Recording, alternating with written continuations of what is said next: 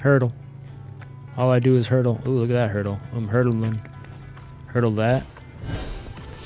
So you basically just can run over anything now. Not that. Oh, I guess you can.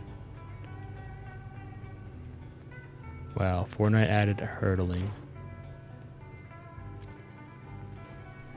You need to be sprinting though. And you don't have infinite sprint. With both the slap juice, you have infinite sprint.